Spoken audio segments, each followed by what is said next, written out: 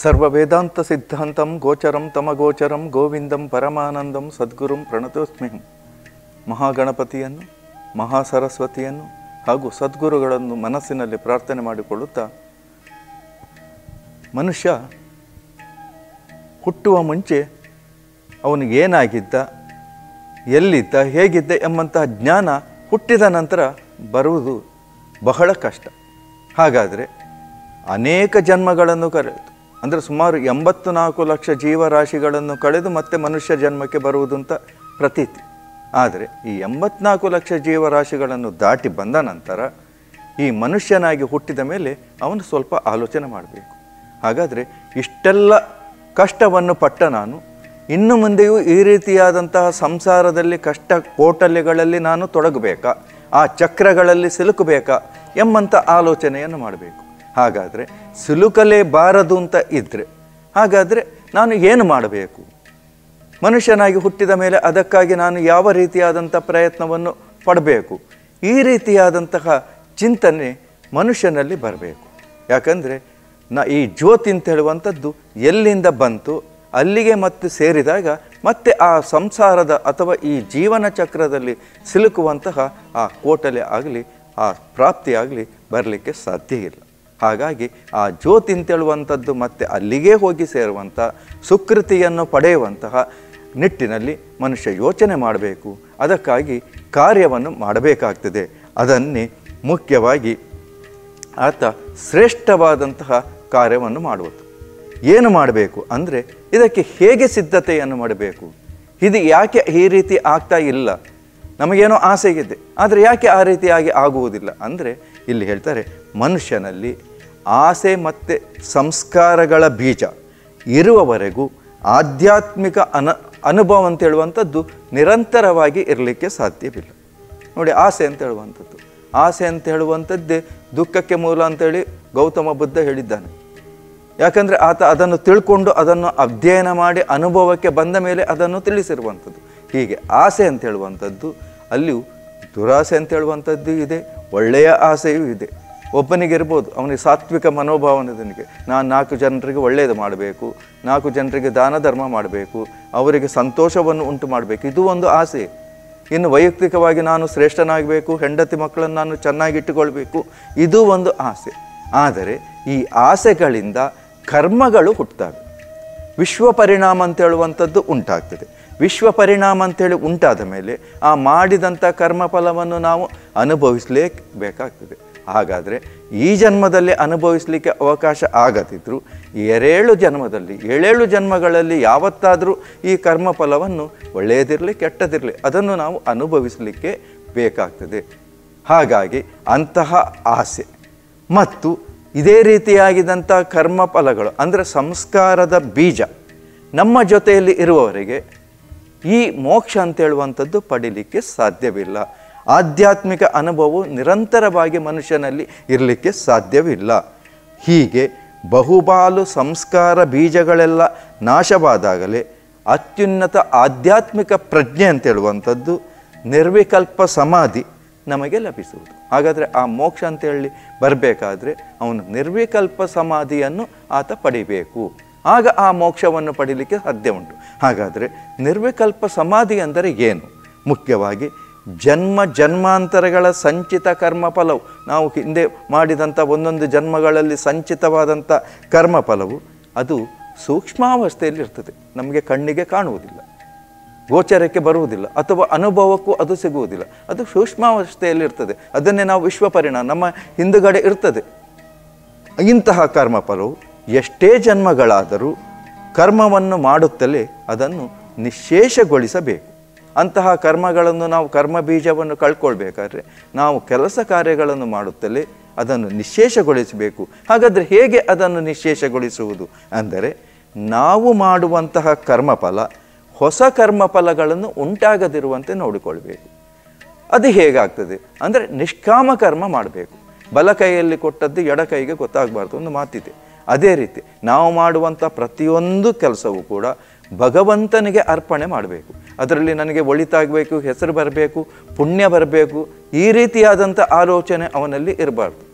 ಪುಣ್ಯ ಬರಬೇಕು ಅಂತಲೂ ಇರಬಾರ್ದು. ಅಲ್ಲಿ ಕಾಮನೆ ಬರ್ತದೆ. ಪುಣ್ಯ ಅಂತ ಹೇಳುವಂಥದ್ದು ಆಸೆ. ಆ ಆಸೆಯನ್ನು ತೊರಿಬೇಕಾಗ್ತದೆ. ಹಾಗಾಗಿ ಅದರ ಏಕಮಾತ್ರ ಉದ್ದೇಶವೇ ಹೊಸ ಕರ್ಮಗಳು ಸಂಚಯವಾಗದಂತೆ ತಡೆಯುವುದು. ಇದು ಬಹಳ ಮುಖ್ಯ. ನಾವು ಮಾಡಿದಂಥ ಕರ್ಮ ಅಲ್ಲಿ ಹೊಸ ಕರ್ಮಗಳು ಉಂಟಾಗಬಾರ್ದು. ಅದು ಪಾಪಕರ್ಮ ಆಗಲಿ, ಪುಣ್ಯಕರ್ಮವಾಗಲಿ. ಅದು ಉಂಟಾಗದಂತೆ ನಾವು ಕಾರ್ಯವನ್ನು ಬೆ, ಮಾಡಬೇಕು. ಅದಕ್ಕಾಗಿ ನಿಷ್ಕಾಮ ಕರ್ಮವನ್ನು ಮಾಡಬೇಕು. ಆಗ ನಿರ್ವಿಕಲ್ಪ ಸಮಾಧಿ ಅಂತ ಹೇಳುವಂಥದ್ದು ಅಲ್ಲಿ ಲಭಿಸ್ತದೆ. ಹಾಗಾಗಿ ನಾವು ಆಧ್ಯಾತ್ಮಿಕವಾಗಿ ಎಲ್ಲಿ ಕೆಳಸ್ತರದಲ್ಲಿ ಚಲಿಸುತ್ತೇವೆಯೋ ಅಲ್ಲಿವರೆಗೆ ನಮಗೆ ಕ್ಷೇಮವಿಲ್ಲ. ಹಾಗಾದರೆ ಈ ಆಧ್ಯಾತ್ಮಿಕ ಸಾಧನೆ ಅಂತ ಹೇಳುವಂಥದ್ದು ನಾವು ಬಹಳ ಮೇಲ್ಸ್ತರದಲ್ಲಿ ಮಾಡಬೇಕು. ನಮ್ಮ ಈ ಮನುಷ್ಯ ಜನ್ಮದಲ್ಲಿ ನಾವು ಹೆಚ್ಚಾಗಿ ಆಧ್ಯಾತ್ಮಿಕ ಸಾಧನೆಯತ್ತವೇ ಗಮನವನ್ನು ಕೊಡಬೇಕು. ಆಗ ಮಾತ್ರ ಮೋಕ್ಷವನ್ನು ಈ ಜನ್ಮದಲ್ಲಲ್ಲದಿದ್ದರೂ, ಮುಂದಿನ ಜನ್ಮದಲ್ಲಾದರೂ ಇದನ್ನು ಹೆಚ್ಚು ಹೆಚ್ಚು ಮಾಡುತ್ತಾ, ಅಲ್ಲಿ ಮುಂದುವರಿಸಲಿಕ್ಕೆ ಅಲ್ಲಿ ಸಾಧ್ಯ ಉಂಟಾಗ್ತದೆ. ಹಾಗೆ ಆಧ್ಯಾತ್ಮಿಕ ಅನುಭವ ಮಾತ್ರವೇ ಭಗವಂತ ಮತ್ತು ಆತ್ಮ ಸತ್ಯವೆಂದು ತಿಳಿಸಬಲ್ಲದು. ಯಾಕಂದರೆ ಇಲ್ಲದಿದ್ದರೆ ನಮಗೆ ಭಗವಂತನ ಬಗ್ಗೆ ನಮ್ಗೆ ಗೊತ್ತಾಗುವುದಿಲ್ಲ. ಯಾಕಂದರೆ ನಾವು ಕಣ್ಣಿಗೆ ಕಂಡದ್ದನ್ನೇ ಸರಿಯಾಗಿ ನಂಬುವುದಿಲ್ಲ. ಕಣ್ಣಿಗೆ ಕಂಡರೂ ಪಾರಂಬರಿಸಿ ನೋಡಬೇಕು ಅಂತ ಹೇಳುವವರು. ಹಾಗಿರುವಾಗ ಕಣ್ಣಿಗೆ ಕಾಣದ ಭಗವಂತನನ್ನು ನಾವು ಹೇಗೆ ನಂಬ್ತೇವೆ? ಆ ನಂಬಬೇಕಾದ್ರೆ ಅಂತಹ ಉನ್ನತ ಮಟ್ಟದ ಆಧ್ಯಾತ್ಮಿಕ ಅನುಭವ ಅಂತ ಹೇಳುವಂಥದ್ದು ನಮಗೆ ಉಂಟಾಗಬೇಕು. ಹಾಗೆ ಆತ್ಮಸತ್ಯ ಅಂತ ತಿಳ್ಕೊಳ್ಳಿಕ್ಕೂ ಆ ಆಧ್ಯಾತ್ಮಿಕ ಅನುಭವ ಅಂತ ಬೇಕು. ಯಾಕಂದರೆ ಈ ಆತ್ಮ ನಾವು ಕಣ್ಣಿಗೆ ಕಾಣುವುದಿಲ್ಲ. ಯಾವುದೇ ನೀವು ಆಸ್ಪತ್ರೆಗೆ ಹೋಗಲಿ, ನಿಮಗೆ ಆತ್ಮ ಎಲ್ಲುಂಟು ಅಂತೇಳಿ ಸ್ಕ್ಯಾನ್ ಮಾಡಿ ಕೊಡಲಿಕ್ಕೆ ಯಾರಿಗೂ ಸಾಧ್ಯ ಇಲ್ಲ. ಆದರೆ ಆತ್ಮ ಇಲ್ಲದೆ ಮನುಷ್ಯ ಬದುಕಲಿಕ್ಕೆ ಸಾಧ್ಯವಿಲ್ಲ. ಅದು ಆ ರೀತಿಯಾದಂಥ ಕಣ್ಣಿಗೆ ಕಾಣದಂತಹ ವಸ್ತು ಆಗಿರ್ತದೆ. ಅದನ್ನೇ ಗೀತೆಯಲ್ಲಿ ಹೇಳುವಂಥದ್ದು, ಅದನ್ನು ತೋಯಿಸ್ಲಿಕ್ಕಾಗೋದು, ಬೆಂಕಿಯಲ್ಲಿ ಸುಡಲಿಕ್ಕಾಗೋದು, ಶಸ್ತ್ರದಿಂದ ಕತ್ತರಿಸಲಿಕ್ಕಾಗದು ಅಂತೇಳಿ ಅಲ್ಲಿ ಶ್ರೀಕೃಷ್ಣ ಪರಮಾತ್ಮ ಹೇಳಿರುವಂಥದ್ದು. ಅಂತಹ ಆತ್ಮವನ್ನು ತಿಳ್ಕೊಳ್ಬೇಕಾದರೂ ನಮ್ಮಲ್ಲಿ ಆಧ್ಯಾತ್ಮಿಕ ಜ್ಞಾನ ಅಂತ ಹೇಳುವಂಥದ್ದು ಅದು ಉನ್ನತ ಸ್ತರದಲ್ಲಿ ಇಡಬೇಕಾಗ್ತದೆ. ಅದನ್ನು ಅನುಭವಿಸಿ ನಾವು ತಿಳಿಯಬೇಕು. ಮುಂದೆ ಜನ್ಮ ನಾವು ಸಾಮಾನ್ಯವಾಗಿ ಅನೇಕ ಹೊರಗಿನ ವಸ್ತುಗಳ ಆಶ್ರಯಿಸುತ್ತೇವೆ ಹೊರತು ಸಂಪೂರ್ಣವಾಗಿ ಏಕೈಕ ಸತ್ಯವಾದಂಥ ಭಗವಂತನನ್ನೇ ಸಂಪೂರ್ಣವಾಗಿ ಆಶ್ರಯಿಸುವುದಿಲ್ಲ. ಇದು ಬಹಳ ಮುಖ್ಯ ವಿಚಾರ. ನಾವು ಯಾರೋ ಹೇಳಿದ್ದನ್ನು ನಂಬುವಂಥದ್ದು. ಮತ್ತು ನಮ್ಮ ಜೀವನದಲ್ಲಿ ಲೌಕಿಕವಾದಂಥ ಸುಖವನ್ನು ಪಡೆಯುವುದಕ್ಕಾಗಿ ದೈವಗಳನ್ನು ಅಥವಾ ಇತರ ಶಕ್ತಿಗಳನ್ನು ನಾವು ನಂಬುವಂಥದ್ದು, ಅದಕ್ಕಾಗಿ ಖರ್ಚು ವೆಚ್ಚಗಳನ್ನು ಮಾಡುವಂಥದ್ದು. ಇದು ಬಹಳ ತಪ್ಪಾದ ವಿಚಾರ. ಯಾಕಂತೇಳಿದರೆ ನಮಗೆ ಶಾಶ್ವತವಾದಂಥ ಸುಖ ಅಂತ ಹೇಳುವವರು ಅದನ್ನು ಮಾಡಲಿಕ್ಕೆ ಹೋಗಬಾರ್ದು. ಲೌಕಿಕವಾಗಿ ನಾವು ಸುಖವನ್ನು ಅನುಭವಿಸ್ತೇವೆ ಅಂತ ಹೇಳಿದರೆ ಅಂಥವರು ಮಾಡಿದರೆ ಅದನ್ನು ತಪ್ಪಲ್ಲ. ಅದನ್ನೇ ಇಲ್ಲಿ ಹೇಳುವಂಥದ್ದು, ನಾವು ಸಂಪೂರ್ಣವಾಗಿ ಭಗವಂತನನ್ನು ನಂಬಬೇಕು. ಭಗವಂತನ ಸಾಕ್ಷಾತ್ಕಾರವನ್ನು ಪಡೆಯಲಿಕ್ಕೆ ನಾವು ಪ್ರಯತ್ನವನ್ನು ಮಾಡಬೇಕು ಹಾಗಾಗಿ ನಮಗೆ ಎಲ್ಲದ, ಅಂದರೆ ಅಸತ್ಯವಾದುದೇ ನಮಗೆ ಇಂದು ಸತ್ಯ ಅಂತ ಕಾಣ್ತಾ ಇದೆ. ಸತ್ಯವನ್ನು ಅಸತ್ಯವನ್ನಾಗಿ ನಾವು ಮಾಡಿಕೊಂಡಿದ್ದೇವೆ. ಅದಕ್ಕಿಂತ ನಾವು ಏನು ಮಾಡಬೇಕು ಹಾಗ, ಅಂದರೆ ಸತ್ಯವನ್ನು ಅರಿಯುವ ಶಕ್ತಿ ಅಂತ ಹೇಳುವಂಥದ್ದು ನಮ್ಮಲ್ಲಿ ಸುಪ್ತವಾಗಿದೆ. ಎಲ್ಲರ ಪ್ರಪಂಚದಲ್ಲಿ ಪ್ರತಿಯೊಬ್ಬ ಮನುಷ್ಯನಲ್ಲಿಯೂ ಕೂಡ ಸತ್ಯವನ್ನು ಅರಿಯುವ ಶಕ್ತಿ ಅಂತ ಹೇಳುವಂಥದ್ದು ಭಗವಂತ ಅಲ್ಲಿ ಇಟ್ಟೇ ಇರ್ತಾನೆ. ಆದರೆ ಅದನ್ನು ನಾವು ಅರಿಯುವಂತಹ, ಅದು ಸುಪ್ತವಾಗಿರುವುದನ್ನು ನಾವು ಪ್ರಕಟಗೊಳಿಸುವಂತಹ ಶಕ್ತಿಯನ್ನು ಪಡ್ಕೊಳ್ಬೇಕು. ಅದಕ್ಕೋಸ್ಕರ ಪ್ರಯತ್ನವನ್ನು ಮಾಡಬೇಕು.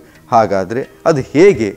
ಹೃದಯ ಕೇಂದ್ರವು ಜಾಗೃತವಾದಾಗ ತಾನು ಜೀವಾತ್ಮ, ದೇಹ, ಮನಗಳಿಂದ ಬೇರೆಯಾದಂಥ ಜ್ಯೋತಿರ್ಮಯ ಚೈತನ್ಯ ಬಿಂದು ಎಂಬ ಜ್ಞಾನ ಅಂತೇಳುವಂಥದ್ದು ಬರುವುದು. ಕುಂಡಲಿನಿಯ ಆಜ್ಞಾಚಕ್ರವನ್ನು ತಲುಪಿದಾಗ ಜೀವಾತ್ಮನು ಪರಮಾತ್ಮನು ಅಂಶ ಎಂಬ ಜ್ಞಾನ ನಮಗೆ ಖಂಡಿತವಾಗಿ ಬರುತ್ತದೆ. ಪ್ರತಿಯೊಂದು ಚಕ್ರದಲ್ಲಿಯೂ ನಮಗೆ ಹೊಸ ಹೊಸ ಅನುಭವವಾಗುವುದು, ಸತ್ಯದ ಹೊಸ ಮುಖ ಅಲ್ಲಿ ಗೋಚರವಾಗಲಿಕ್ಕೆ ಸಾಧ್ಯವಾಗ್ತದೆ. ಹಾಗೆ ದೈಹಿಕ ಮತ್ತು ಮಾನಸಿಕ ಪಾವಿತ್ರತೆ ಇಲ್ಲದೆ ಆಧ್ಯಾತ್ಮಿಕ ಸಾಧನೆಯನ್ನು ಮಾಡುವವರು ಕೇವಲ ಶಕ್ತಿಯನ್ನು ಮಾತ್ರ ಕಳ್ಕೊಳ್ತಾರೆ. ನಾವು ದೇವಸ್ಥಾನಕ್ಕೆ ಹೋಗ್ತೇವೆ. ಪೂಜಾ ಮಂದಿರಕ್ಕೆ ಹೋಗ್ತೇವೆ, ಪ್ರಾರ್ಥನಾ ಮಂದಿರಕ್ಕೆ ಹೋಗ್ತೇವೆ. ಯಾಕೆ ಹೋಗ್ತೇವೆ, ಏನು ಮಾಡ್ತೇವೆ ಅಂತ ನಮ್ಗೆ ಗೊತ್ತಿಲ್ಲ. ಯಾಕಂದರೆ ದೇವಸ್ಥಾನಕ್ಕೆ ಅಲ್ಲಿ ಇಲ್ಲಿ ಹೋಗಬೇಕು ಅಂತ ಹೇಳಿದ್ದಾರೆ. ಅಲ್ಲಿ ನಾನಾ ಕಾರಣಗಳಿಂದ ಅಲ್ಲಿ ನಾವು ಹೋಗ್ತೇವೆ. ಆದರೆ ಈ ರೀತಿಯಾಗಿ ಹೋಗುವುದರಿಂದ, ಪ್ರಾರ್ಥನೆ ಮಾಡುವುದರಿಂದ ನಮ್ಮ ಇದ್ದ ಶಕ್ತಿಯನ್ನು ನಾವು ಕಳ್ಕೊಳ್ಬೇಕಾಗ್ತದೆ. ಯಾಕೆ? ಅವರ ಸಂಚಿತ ಶಕ್ತಿಯು ಕೆಳಮುಖ ಹರಿದು ಪ್ರಾಪಂಚಿಕತೆ ಇನ್ನೂ ತೀವ್ರವಾಗಿ ಅಲ್ಲಿ ಕಾಮವೃತ್ತಿ ಪ್ರಬಲವಾಗಿ ಅವರು ತುಂಬ ಹಾನಿಗೊಳ್ಳಬೇಕಾಗುತ್ತದೆ ಕಾಮನೆಗಳಿಂದ ದೇವಸ್ಥಾನಗಳಿಗೆ ಹೋಗುವುದು ದೇವರೇ, ನನಗೆ ಅದು ನಡೆಸಿಕೊಡು ಅಂತ. ದೇವರಲ್ಲಿ ನಾವು ಹೋಗಿ, ನೀನು ಅದನ್ನು ನಡೆಸಿಕೊಟ್ರೆ ನಿನಗೆ ಈ ಸೇವೆ ಕೊಡ್ತೇನೆ. ಈ ರೀತಿಯಾಗಿ ಲಂಚವನ್ನು ಕೊಡುವಂಥದ್ದು, ಆಮಿಷವನ್ನು ಒಡ್ಡುವಂಥದ್ದು, ಇದೆಲ್ಲವೂ ಅವ ಮನುಷ್ಯನ ಕಾಮನೆಗಳನ್ನು ಈಡೇರಿಸಿಕೊಳ್ಳುವುದಕ್ಕಾಗಿ. ಇದರಿಂದ ಏನಾಗುತ್ತಂದರೆ, ಕಾಮವೃತ್ತಿಯು ಪ್ರಬಲವಾಗಿ ಅವರು ತುಂಬ ಹಾನಿಗೊಳಗೊಡಬೇಕಾಗ್ತದೆ ಹಾನಿಯನ್ನು ಅನುಭವಿಸಬೇಕಾಗ್ತದೆ. ಅಂತೆಯೇ ನಮ್ಮ ಪ್ರಾಪಂಚಿಕ ಬಯಕೆಗಳು ಸಿದ್ಧಿಸಿ ಸತ್ಯವನ್ನು ಮರೆತಾಗಲು ಇದನ್ನೆಲ್ಲ ಅನುಭವಿಸುವ ನಾವು ಯಾರು? ಎಲ್ಲಿಂದ ಬಂದೆ? ಎಲ್ಲಿಗೆ ಹೋದೆ ಎಂಬಂಥ ಭಾವನೆ ಬರ್ತದೆ. ಸಾಮಾನ್ಯವಾಗಿ ಮನುಷ್ಯ ಯಾವುದೋ ಪೂರ್ವ ಪುಣ್ಯ ಜನ್ಮದಿಂದ ಬಹಳ ದೊಡ್ಡದಾದಂತಹ ಸುಖವನ್ನು ಆತ ಪಡಿತಾನೆ. ಬೇಕಾದ್ರೆ ರಾಷ್ಟ್ರಪತಿಯೇ ಆಗಿರಲಿ ಪ್ರಧಾನಮಂತ್ರಿ ಆಗಲಿ ಅಥವಾ ಇನ್ಯಾವುದೇ ಉನ್ನತ ಹುದ್ದೆಯನ್ನು ಪಡೆದಿರಲಿ, ಅವನು ಒಂದು ದಿನ ಕುಳಿತು ಆಲೋಚನೆ ಮಾಡ್ತಾನೆ. ನಾನು ಇಷ್ಟೆಲ್ಲ ಸುಖವನ್ನು ಅನುಭವಿಸಿದೆ, ಇಷ್ಟು ದೊಡ್ಡ ವ್ಯಕ್ತಿಯಾದೆ, ಜನಮನ್ನಣೆಯನ್ನು ಗಳಿಸಿದೆ. ಹಾಗಾದರೆ ನಾನು ಯಾರು? ಈ ಪ್ರಶ್ನೆ ಅಂತ ಹೇಳುವಂಥದ್ದು ಮನುಷ್ಯನಿಗೆ ಒಂದು ದಿನ ಆತ ಮನಸ್ಸಿನಲ್ಲಿ ಆಲೋಚನೆ ಮಾಡಿದ, ಹಾಗಾದರೆ ನಾನು ಎಲ್ಲಿಂದ ಬಂದೆ? ಮರಣ ಅಂತ ಹೇಳುವಂಥದ್ದು ಇದ್ದೇ ಇರ್ತದೆ. ಹಾಗಾದರೆ ನಾನು ಇಷ್ಟು ದೊಡ್ಡ ಉನ್ನತ ಪದವಿಯನ್ನು ಏರಿದವ, ಇನ್ನು ಮುಂದೆ ನಾನು ಎಲ್ಲಿ ಹೋಗುವಂಥದ್ದು? ಇದನ್ನು ಶಾಶ್ವತವಾಗಿ ಉಳಿಸಿಕೊಳ್ಳಿಕ್ಕೆ ನನಗೆ ಯಾಕೆ ಆಗ್ತಾ ಇಲ್ಲ? ಹಾಗಾದರೆ ನಾನು ಯಾರು? ಎಲ್ಲಿಂದ ಬಂದೆ? ಇನ್ನು ಮುಂದೆ ಎಲ್ಲಿ ಹೋಗುತ್ತೇನೆ? ಎಂಬಂತಹ ಚಿಂತನೆ ಮನುಷ್ಯನಿಗೆ ಬರುವಂಥದ್ದೇ, ಅದನ್ನೇ ನಾವು ಜಗದ ರಹಸ್ಯ ಗೋಚರಿಸುವ ಸಮಯ ಪ್ರಾರಂಭವಾಗುವುದು. ಆಗ ಮನುಷ್ಯನಿಗೆ ಬರ್ತದೆ. ಇಷ್ಟು ಸುಖವನ್ನು ಪಡೆದು ಇನ್ನು ನಾನು ಮುಂದೆ ಹೇಗೆ? ಕೋಟ್ಯಾಧೀಶ ಐಶ್ವರ್ಯವನ್ನು ಸಂಪಾದನೆ ಮಾಡಿದ್ದಾನೆ. ವಯಸ್ಸಾಗ್ತಾ ಉಂಟು. ಎಂಬತ್ತು, ತೊಂಬತ್ತು ವರ್ಷದವರೆಗೆ ಬದುಕಿದ್ರು ಅವನು ಮತ್ತೆ ಆಲೋಚನೆ ಮಾಡ್ತಾನೆ, ಇದನ್ನೆಲ್ಲ ಬಿಟ್ಟು ಹೋಗಬೇಕಲ್ಲ. ಹಾಗಾದರೆ ಇನ್ನು ಬಿಟ್ಟು ಹೋಗುವಂಥದ್ದು ಎಲ್ಲಿಗೆ? ಪುನೊಮ್ಮೆ ನಾನು ಹುಟ್ಟಿದರೆ ನನಗೆ ಇದು ಮತ್ತೆ ಸಿಗುತ್ತದೋ? ಈ ರೀತಿಯಾದಂಥ ಚಿಂತನೆ ಬರುವಂಥದ್ದೇ ಜಗದ ರಹಸ್ಯವನ್ನು ತಿಳಿಯುವಂಥ ಸಮಯ. ಹಾಗಾಗಿ ಪ್ರಪಂಚ ಸತ್ಯವೇ ಮಿಥ್ಯವೇ ಕ್ಷಣಿಕವೇ ಅಥವಾ ಶಾಶ್ವತವೇ ಎಂಬುದನ್ನು ನಾವು ಒಂದೆರಡು ದೃಷ್ಟಾಂತಗಳಿಂದ ತಿಳಿದುಕೊಳ್ಬೇಕು. ಹೇಗೆ ತಿಳ್ಕೊಳ್ಬೋದು ಆ ದೃಷ್ಟಾಂತಗಳು ಏನಂದರೆ ಮಾನವನು ಹುಟ್ಟುವನು, ಕೆಲವು ದಿನ ಬದುಕುವನು, ಮುಂದೆ ಬಾಳುವನು, ಕೊನೆಗೊಂದು ದಿನ ಸಾಯುವನು. ಅಂತೆಯೇ ಮನುಷ್ಯ ಮಾತ್ರ ಅಲ್ಲ, ಈ ಪ್ರಪಂಚದ ಸೃಷ್ಟಿಯಲ್ಲಿ ಹುಟ್ಟಿದಂಥ ಪ್ರತಿಯೊಂದು ಪಕ್ಷಿ, ಪ್ರಾಣಿ, ಪಕ್ಷಿಗಳು ಎಲ್ಲವೂ ಕೂಡ ಹುಟ್ಟುತ್ತವೆ ಅವುಗಳ ಒಂದು ದಿನ ಸಾವನ್ನು ಅಪ್ಪುವಂಥದ್ದು. ಸರಿಯಾಗಿ ಇದನ್ನು ನಾವು ವಿಮರ್ಶೆ ಮಾಡಿದರೆ, ವಿಚಾರ ಮಾಡಿದರೆ, ನಾಮರೂಪಗಳಿಂದ ಕೂಡಿದ ವಸ್ತುಗಳು ಗತಿಯಲ್ಲ, ಅವುಗಳ ಅವಸ್ಥೆಗಳು ಎಲ್ಲವೂ ಕೂಡ ಅದು ಎಲ್ಲೇ ಇರಲಿ, ಹೇಗೆ ಇರಲಿ, ಯಾವ ಸ್ಥಿತಿಯಲ್ಲೇ ಇರಲಿ, ಅದಕ್ಕೆ ಒಂದು ದಿನ ನಾಶ ಅಂತ ಹೇಳುವಂಥದ್ದು ಇದ್ದೇ ಇರ್ತದೆ. ಪರೀಕ್ಷಿತ ಮಹಾರಾಜ ಅಂತ ಹೇಳುವ ಒಬ್ಬ ಇದ್ದ. ತನಗೆ ಮರಣ ಆಗ್ತದೆ ಶಾಪ ಉಂಟಾಯಿತು ಅಂದಾದಾಗ ಏಳು ಕೋಟೆಯಷ್ಟು ಭದ್ರವಾಗಿಟ್ಟು ಒಂದು ನುಸಿಯೂ ಕೂಡ ಒಳಗೆ ಬರದಂಥ ಭದ್ರವಾದ ಕೋಟೆಯನ್ನು ನಿರ್ಮಿಸಿ ಆತ ಕುಳಿತುಕೊಳ್ತಾನಂತೆ. ಆದರೆ ಅಂಥವನನ್ನು ಆ ಸಾವು ಅಂತ ಹೇಳುವಂಥದ್ದು ಕರೆದುಕೊಂಡು ಹೋಗ್ತದೆ. ಹಾಗಿರುವಾಗ ಇದನ್ನು ನಾವು ಅರ್ಥ ಮಾಡಿಕೊಳ್ಬೇಕು. ಅದನ್ನು ಕಂಡಂತಹ ಈ ಪ್ರಪಂಚ ಇದು ಅಸತ್ಯವಾದುದು, ಕ್ಷಣಿಕವಾದುದು ಎಂದು ನಾವು ಅರ್ಥ ಮಾಡಿಕೊಂಡ ಮೇಲೆ, ಅದನ್ನು ನಾವು ತಿಳ್ಕೊಂಡ ಮೇಲೆ ನಮಗೆ ಅಭಿಮಾನ ಅಂತ ಹೇಳುವಂಥದ್ದು ಇರುವುದಿಲ್ಲ. ಯಾವಾಗ ಈ ಸತ್ಯ ನಮಗೆ ಬರ್ತದೋ, ನಾವು ಕ್ಷಣಿಕವಾದುದು ಇಲ್ಲಿದ್ದದ್ದನ್ನು ತೆಗೆದುಕೊಂಡು ಹೋಗಲಿಕ್ಕೆ ಸಾಧ್ಯವಿಲ್ಲ ಎಂಬುದನ್ನು ಪ್ರಾಮಾಣಿಕವಾಗಿ ಮನುಷ್ಯ ಅರಿತಾಗ, ಆಗ ಈ ದೇಹದ ಮೇಲೆ, ಪ್ರಪಂಚದ ಮೇಲೆ, ತಾನು ಮಾಡಿದಂಥ ಸಂಪತ್ತಿನ ಮೇಲೆ ಆತನಿಗೆ ಅಭಿಮಾನ ಉಂಟಾಗುವುದಿಲ್ಲ. ಓ ದೇವರೇ, ನನಗೆ ಯಾವುದೂ ಬೇಡ, ನನಗೆ ಕ್ಷಯ ಮೋಕ್ಷವನ್ನು ಕೊಡು ಎಂಬಂತಹ ಚಿಂತನೆಗೆ ಒಳಪಡ್ತಾನೆ. ಹಾಗೆ ಅದನ್ನು ಕರ್ತನಾದಂಥ, ಅಂದರೆ ಹೀಗೆ ಯೋಜಿಸಿ ತ್ಯಾಗದಿಂದ ಜಯಶೀಲನಾದರೆ ಜಗದ ಸೃಷ್ಟಿಕರ್ತನಾದಂಥ ಭಗವಂತನ ಬಗ್ಗೆ ತಿಳಿಯುವಂಥದ್ದು ಸುಲಭ ಅಥವಾ ತಿಳಿಯುವ ಸಮಯ ನಮಗೆ ಆ ಸಂದರ್ಭದಲ್ಲಿ ಬರಬಹುದು. ಮನುಷ್ಯನು ಪ್ರಪಂಚದಲ್ಲಿ ಅನೇಕ ಬಯಕೆಗಳಿಂದ ಪೀಡಿಸಲ್ಪಡುವನು. ಹಾಗಾದರೆ ಅವುಗಳಿಂದ ಪಾರಾಗಲಿಕ್ಕೆ ಎರಡು ಮಾರ್ಗ. ಯಾಕಂದರೆ ನಾವು ಧಾರ್ಮಿಕವಾಗಿ ನಾವು ಸಾಧನೆಯನ್ನು ಮಾಡಬೇಕಾದ್ರೆ ಇದನ್ನೆಲ್ಲ ಬಿಡಬೇಕಾಗ್ತದೆ. ಆದರೆ ಈ ಈ ಪೀಡನೆಗಳಿಂದ ಹೇಗೆ ಪಾರಾಗುವುದಂದರೆ ಒಂದು ಬಯಕೆಗಳನ್ನೆಲ್ಲ ಈಡೇರಿಸಿಕೊಳ್ಳುವುದು. ಅಥವಾ ಬಯಕೆಗಳನ್ನು ಅಲ್ಲಿ ತೊರೆಯುವಂಥದ್ದು. ಇದು ಯಾವುದೋ ನನಗೆ ಬೇಡ. ಆ ಭಗವಂತನ ಸಾನ್ನಿಧ್ಯವೇ ಸಾಕು ಎಂಬಂಥ ತೀರ್ಮಾನಕ್ಕೆ ಬರುವುದು. ಎಲ್ಲರಿಗೂ ಈ ಬಯಕೆಗಳನ್ನು ಈಡೇರಿಸಿಕೊಳ್ಳಲಿಕ್ಕೆ ಸಾಧ್ಯವಿಲ್ಲ.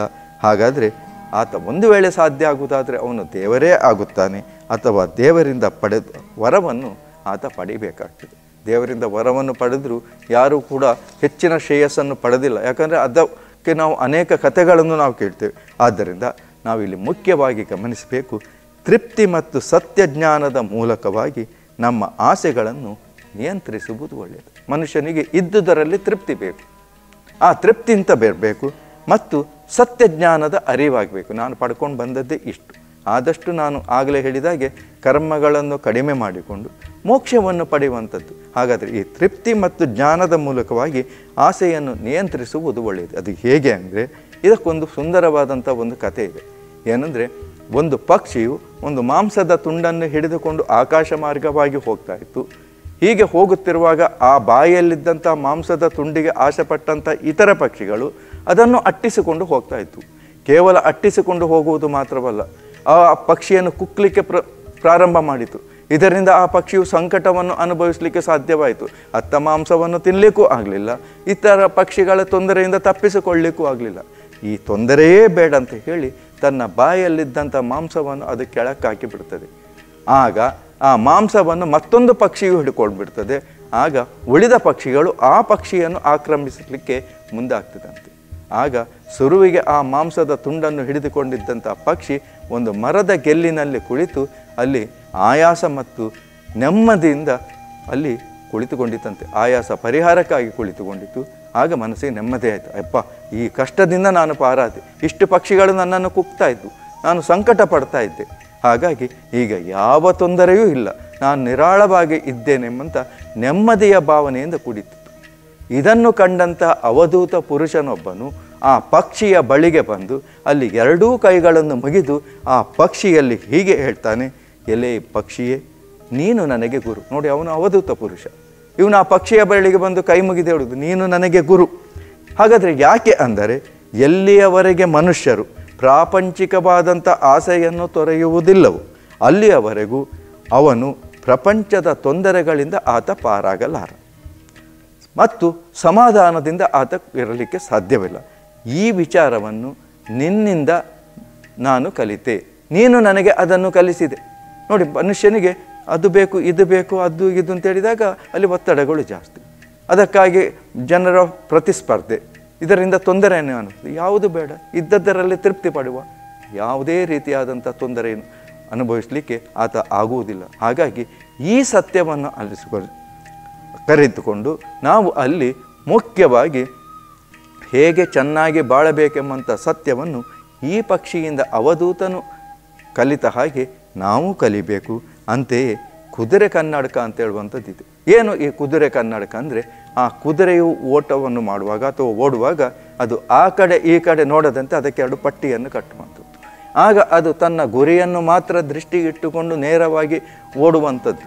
ಹಾಗೆ ಮನುಷ್ಯನಾದವನು ಕೂಡ ಈ ಪ್ರಾಪಂಚಿಕವಾದಂಥ ವ್ಯಾಮೋಹಗಳು ಬಹಳಷ್ಟು ಇವೆ. ಅವೆಲ್ಲಕ್ಕೂ ಈ ಪಟ್ಟಿಯನ್ನು ಕಟ್ಟಿಕೊಂಡು ಭಗವಂತನನ್ನು ಮಾತ್ರ ದೃಷ್ಟಿಯಲ್ಲಿ ಇಟ್ಟುಕೊಂಡು ಆ ಭಗವಂತನೆಡೆಗೆ ಓಡಬೇಕು ಆಗ ಅವನು ಶ್ರೇಷ್ಠತೆಯನ್ನು ಪಡೀಲಿಕ್ಕೆ ಸಾಧ್ಯವುಂಟು. ಹಾಗೆ ಮಕ್ಕಳೆಲ್ಲರೂ ಸೇರಿ ಆಟಿಕೆಗಳೊಡನೆ ಆಟ ಆಡ್ತಾವಂತೆ. ಹೀಗೆ ಆಟವಾಡುತ್ತಿರುವಂಥ ಸಂದರ್ಭದಲ್ಲಿ ಆ ಮಕ್ಕಳ ತಾಯಿಯು ಬಂದಾಗ ಈ ಮಕ್ಕಳು ಏನು ಮಾಡ್ತವೆ? ಆಟಿಕೆಗಳನ್ನೆಲ್ಲವನ್ನು ಎಸೆದು ತಾಯಿ ಬಂತಂತೆ, ಅಮ್ಮ ಅಂತೇಳಿ ಅಮ್ಮನ ಹತ್ರ ಹೋಗುವಂಥದ್ದು. ಅಮ್ಮನ ಬಳಿಗೆ ಹೋಗುವಂಥದ್ದು. ಹಾಗೆ ಈ ಅಮ್ಮನ ಬಳಿಗೆ ಹೋಗುವಂಥ ಸಂದರ್ಭದಲ್ಲಿ ಮತ್ತೆ ಯಾವುದೇ ರೀತಿಯಾದಂತಹ ಯಾಕಂದರೆ ಈ ಮನುಷ್ಯನಿಗೆ ಆಸೆ, ಆಕಾಂಕ್ಷೆ, ಹೆಂಡತಿ, ಮಕ್ಕಳು ಇತ್ಯಾದಿಗಳು ಎಲ್ಲವಿರುತ್ತದೆ ಹಾಗೆ ಮನುಷ್ಯನಿಗೆ ಇವೆಲ್ಲವೂ ಕೂಡ ಒಂದು ಆಟಿಕೆಗಳಿದ್ದಾಗೆ ಮಕ್ಕಳಿಗೆ ಆಟದ ಸಾಮಾನು ಹೇಗೆ, ಹಾಗೆ ಸಾಮಾನ್ಯರಾದಂಥ ನಮಗೆ ಈ ಪ್ರಪಂಚದ ವ್ಯಾಮೋಹ ಅಂತ ಹೇಳುವಂಥದ್ದು ಆಟಿಕೆಯ ಸಾಮಾನ್ಯ ಹಾಗೆ. ಈ ಕೀರ್ತಿ ಔಶ್ವರ್ಯ ಅದು ಬೇಕು, ಇದು ಬೇಕು ಅಂತ. ಹೀಗೆ ಈ ಭಗವಂತನ ಒಂದು ದೃಷ್ಟಿ ಬಂದಾಗ, ಆತನ ವಿಚಾರವು ನಮ್ಮ ಮನಸ್ಸಿಗೆ ಬಂದಾಗ, ಅವುಗಳ ಮೇಲೆ ಆಸಕ್ತಿ ಇರುವುದಿಲ್ಲ. ಬೇರೆಗಳ ಮೇಲೆ ಆಸಕ್ತಿ ಇರುವುದಿಲ್ಲ. ಎಲ್ಲವನ್ನೂ ಕೂಡ ಮನುಷ್ಯನು ಬಿಟ್ಟು ಮಗುವು ತಾಯಿಯ ಬಳಿಗೆ ಆಟಿಕೆಯನ್ನು ಬಿಸಿಟ್ಟು ಓಡಿದ ಹಾಗೆ ಭಗವಂತನ ಕಡೆಗೆ ಮನುಷ್ಯನು ಹೋಗಲಿಕ್ಕೆ ಸಾಧ್ಯ ಉಂಟು ಇದೇ ಕೂಡ ಜಗದ ರಹಸ್ಯ ಗೋಚರಿಸುವ ಸಮಯ. ಇದನ್ನು ವೈರಾಗ್ಯವೆಂದು ನಾವು ಹೇಳ್ಬೋದು. ಮನುಷ್ಯನಿಗೆ ವೈರಾಗ್ಯ ಬಂತು ಅಂತ. ಇದನ್ನು ವೈರಾಗ್ಯ ಬಂತು ಅಂತ ಹೇಳ್ಬೋದು. ವೈರಾಗ್ಯದಲ್ಲೂ ಎರಡು ವಿಧವಾದಂಥ ವೈರಾಗ್ಯವಿದೆ. ಏನು? ಮನುಷ್ಯನಿಗೆ ಕಷ್ಟ ಬಂದಾಗ ವೈರಾಗ್ಯ ಬರುವುದು ಅಂತ ಉಂಟು. ಆದರೆ ಹಾಗಲ್ಲ. ಎಲ್ಲವೂ ಭಗವಂತ ಕೊಟ್ಟು, ಎಲ್ಲವೂ ನಮ್ಮ ಜೊತೆಯಲ್ಲಿ ಇದ್ದು, ಅವುಗಳ ಮೇಲೆ ಬರುವಂಥ ವೈರಾಗ್ಯ ಅಂತ ಹೇಳುವಂಥದ್ದು ಅದು ಬಹಳ ಶ್ರೇಷ್ಠವಾದದ್ದು. ಇದೆಲ್ಲ ತಾತ್ಕಾಲಿಕ, ಯಾಕಂದರೆ ಈ ಪ್ರಾಪಂಚಿಕ ಸುಖ ಅಂತ ಹೇಳುವಂಥದ್ದು ತಾತ್ಕಾಲಿಕವಾದಂಥ ಸುಖ. ನೀರಿನ ಮೇಲೆ ಗುಳ್ಳೆ ಇದ್ದ ಹಾಗೆ ಅದು ಯಾವಾಗ ಒಡೆದು ಹೋಗುತ್ತದೆ ಎಂಬುದನ್ನು ಹೇಳಲಿಕ್ಕೆ ಸಾಧ್ಯವಿಲ್ಲ. ಹಾಗಾಗಿ ಕಾಮ, ಕ್ರೋಧ, ಲೋಭ ಮೊದಲಾದಂಥ ಸಮುದ್ರಗಳಲ್ಲಿ ನಾವು ಮುಳುಗದೆ ಜ್ಞಾನವೆಂಬ ಸಚ್ಚಿದಾನನೆಂಬ ಕಡಲಿನಲ್ಲಿ ಮುಳುಗುವನು. ಇದು ನಿಜವಾದ ವೈರಾಗ್ಯ ಅಂತ ಹೇಳ್ಬೋದು. ಅದನ್ನೇ ಶ್ರೇಷ್ಠವಾದಂಥ ವೈರಾಗ್ಯವೂ ಕೂಡ ಆಗುತ್ತದೆ. ಆದ್ದರಿಂದ ಬುದ್ಧಿವಂತರಾದಂಥ ನಾವು ಮಾತಿಗೆ, ಮಾಟಕ್ಕೆ, ನೋಟಕ್ಕೆ ಮುಂಚೆಯೇ ಯೋಚಿಸಬೇಕು. ಇದೆಲ್ಲವೂ ಕೂಡ ಪ್ರಾಪಂಚಿಕವಾದಂಥ ಆಕರ್ಷಣೆ ಅಂತ. ಹಾಗೆ ಹಿತ ಅಹಿತವನ್ನು ಸತ್ಯ, ಅಸತ್ಯವನ್ನು ಅರಿತು ಸನ್ಮಾರ್ಗದಲ್ಲಿ ನಡೆದು ಸದ್ಗತಿಯನ್ನು ಪಡೆಯುವತ್ತ ನಾವು ಪ್ರಯತ್ನವನ್ನು ಮಾಡಬೇಕು. ಹಾಗೆ ಮುಖ್ಯವಾಗಿ ಸತ್ಯ ಸಾಧಕನು ದಯಾಮಯನಾದಂಥ ದೇವರಲ್ಲಿ ಕರುಣಾಳು ಬಾ ಬೆಳಕೆ ಮುಸುಕಿದ್ದೀ ಮುಬ್ಬಿನು ಎಂದು ಕೈ ಹಿಡಿದು ನಮ್ಮನ್ನು ನಡೆಸೆನ್ನನು ಎಂದು ಒಂದೇ ಒಂದು ಹೆಜ್ಜೆ ಗುರುದೇವನು ನಮ್ಮ ಕೈಯನ್ನು ಹಿಡಿದು ನಡೆಸಿದರೆ ಸಾಕು. ಮುಂದೆ ನಮ್ಮ ಆಧ್ಯಾತ್ಮಿಕ ಸಾಧನೆ ಮತ್ತೆ ಎಗ್ಗಿಲ್ಲದೆ ಯಾವುದೇ ರೀತಿಯಾದಂಥ ಅಡೆತಡೆಗಳಿಲ್ಲದೆ ಅಲ್ಲಿ ಸಾಗಲಿಕ್ಕೆ ಸಾಧ್ಯ ಉಂಟು ಹಾಗೆಯೇ ಕಣ್ಣುಗಳನ್ನು ತೆರೆದು ಬಾಳ ಪಥದಲ್ಲಿ ನಡೆದು ಜೀವನದ ಗುರಿಯನ್ನು, ಮೋಕ್ಷದ ಗುರಿಯನ್ನು ನಾವು ತಲುಪಬೇಕು. ಯಾಕಂದರೆ ಈ ಅಜ್ಞಾನವೆಂಬಂಥ ಕಣ್ಣು ಕಣ್ಣು ಅಂದರೆ ನಾವು ನಡೆಯುವಾಗ ಕಣ್ಣು ತೆರೆದೇ ಇರ್ತದೆ. ಈ ಅಜ್ಞಾನ ಎಂಬಂಥ ಕಣ್ಣನ್ನು ನಾವು ಅಲ್ಲಿ ಮುಚ್ಚಿರ್ತದೆ. ಅದನ್ನು ತೆರೆದು ನಾವು ಮೋಕ್ಷದ ಗುರಿಯನ್ನು ತಲುಪಬೇಕು. ಇದೇ ಜಗದ ರಹಸ್ಯ ಗೋಚರದ ಸಮಯವಾಗುತ್ತದೆ. ಮುಖ್ಯವಾಗಿ ನೋಡಿ ಹಿತ್ತಾಳೆಯ ಪಾತ್ರೆ ಅಂತ ಹೇಳುವಂಥದ್ದು ಇರ್ತದೆ ಹಿತ್ತಾಳೆಯ ಪಾತ್ರೆಯನ್ನು ನಾವು ದಿನಾಲು ಉಜ್ಜಿದ್ರೆ ಮಾತ್ರ ಅದು ಪಳಪಳನೆ ಹೊಳೆಯುತ್ತಾ ಇರ್ತದೆ ಅದೇ ರೀತಿ ಮನುಷ್ಯನ ಮನಸ್ಸು ಕೂಡ ಅನೇಕ ಕಾಮಕ್ರೋಧಗಳಿಂದ, ಇತರ ವಿಚಾರಗಳಿಂದ ಮುಚ್ಚಿ ಹೋಗಿರ್ತದೆ ನಾವು ಅದನ್ನು ಭಗವಂತನ ಪ್ರಾರ್ಥನೆಯ ಮೂಲಕ ಆ ಹಿತ್ತಾಳೆಯ ಪಾತ್ರವನ್ನು ಶುದ್ಧಿಗೊಳಿಸಿದಂತೆ ನಾವು ಶುದ್ಧಿಗೊಳಿಸಬೇಕು. ಚಿನ್ನದ ಪಾತ್ರೆಯನ್ನು ಪ್ರತಿದಿನವೂ ನಾವು ತಿಕ್ಕಬೇಕಾಗಿಲ್ಲ.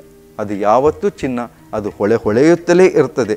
ಮತ್ತೆ ಯಾಕೆ ಮತ್ ಈ ಮಾತನ್ನು ಹೇಳ್ತಾ ಇದ್ದೇನೆಂದರೆ, ಎಲ್ಲ ಪ್ರಾಪಂಚಿಕ ಬಯಕೆಗಳು ಮನುಷ್ಯನಿಗೆ ಸಿದ್ಧಿಸಿ, ಸತ್ಯವನ್ನು ಮರೆತಾಗಲು ಇದನ್ನೆಲ್ಲ ಅನುಭವಿಸುವ ನಾನು ಯಾರು ಎಂಬ ಪ್ರಶ್ನೆ ಕಟ್ಟ ಕಡೆಯದಾಗಿ ಪ್ರತಿಯೊಬ್ಬ ಮನುಷ್ಯನಿಗೂ ಹೇಳುವುದು ಯಾಕಂದರೆ ಅದಕ್ಕೆ ವಯಸ್ಸಾಗಬೇಕು. ವಯಸ್ಸಾದ ನಂತರ ನಾನು ಇನ್ನು ಮುಂದಿನ ಜನ್ಮ ಎಲ್ಲಿ, ಏನು ಬರ್ತದೋ, ನಾನು ಮುಂದೆ ಏನಾಗಿ ಹುಟ್ಟುತ್ತೇನೋ, ಈ ರೀತಿಯಾದಂಥ ಚಿಂತನೆ ಪ್ರತಿಯೊಬ್ಬ ಮನುಷ್ಯನಿಗೂ ತನ್ನ ಕೊನೆಯ ಕಾಲದಲ್ಲಿ ಬರ್ತದೆ. ಹಾಗಾಗಿ ಇದು ಜಗದ ರಹಸ್ಯ ಗೋಚರಿಸುವಂಥ ಸಮಯ. ಹಾಗಾಗಿ ಅದಕ್ಕೆ ಮುಂಚೆಯೇ ನಾವು ಜಾಗೃತರಾಗಿ ಭಗವಂತನನ್ನು, ಅರ್ಥಾತ್ ಈ ಸ, ಭಗವಂತನ ಸಾಕ್ಷಾತ್ಕಾರವನ್ನು ಪಡೆಯುವಂಥ ಪ್ರಯತ್ನವನ್ನು ಮಾಡೋಣ ಅಂತ ಹೇಳುತ್ತಾ ಈ ಪ್ರವಚನವನ್ನು ಮುಗಿಸ್ತಾ ಇದ್ದೇನೆ. ಓಂ ತಸ್ಸತ್